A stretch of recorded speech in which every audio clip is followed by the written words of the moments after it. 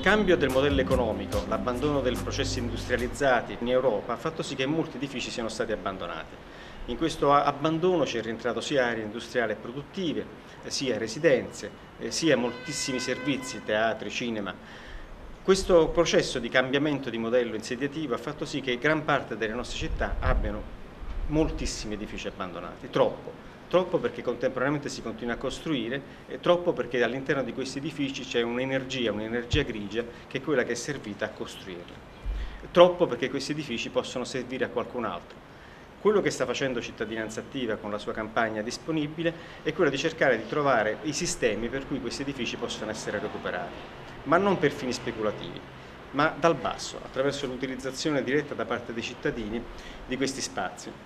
cercando di capire a chi possono servire e in quale maniera questi cittadini possono direttamente riutilizzare questi spazi, senza portare documento per i proprietari, ma lasciando questo enorme capitale energetico e di manufatti a disposizione dei cittadini stessi. Eh, quello che vuole fare la cittadinanza attiva con questo suo progetto disponibile per il recupero degli edifici abbandonati è quello di far raccontare le storie ai diretti interessati, raccontare queste storie di come si sono stati recuperati questi spazi, di che cosa è stato fatto, di quali sono state le difficoltà che i cittadini hanno incontrato, di quali sono stati i vantaggi sociali che questi recuperi hanno portato, questi riusi hanno portato. Quindi presentare quella multiforme quantità di attività che viene svolta in questi spazi, tutte quante volte a fornire servizi ai cittadini, in quanto i cittadini stessi sono gli attori diretti, quindi sanno esattamente che cosa serve e come poter rispondere alle proprie esigenze e ai propri desideri. Un fattore comune unisce questi interventi fatti direttamente dai cittadini è l'economicità.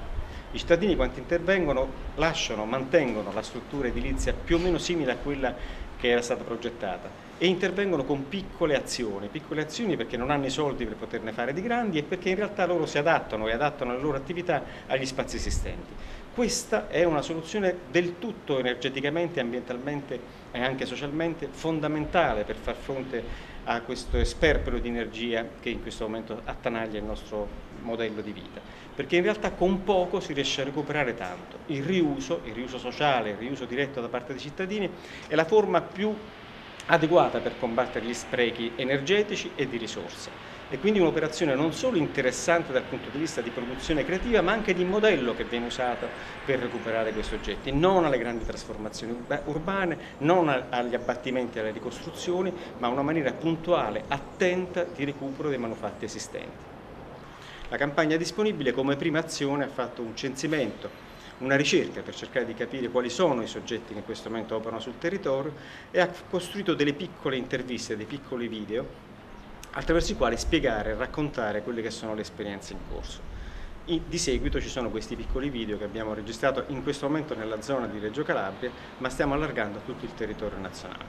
Le esperienze sono multiformi, sono fatte da persone di tutti i tipi, eh, sono più istituzionalizzate e meno istituzionalizzate, sono azioni dirette, sono occupazioni, eh, sono operazioni concordate con le amministrazioni, in una ricchezza di elaborazione e di creatività che non trova confronto.